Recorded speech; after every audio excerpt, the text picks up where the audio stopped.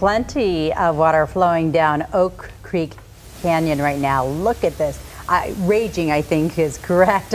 Uh, the video from the Sedona Fire District showing the usually calm creek raging like a river. There are also reports of some flooded homes along Beaver Creek in the Rimrock area off of I-17.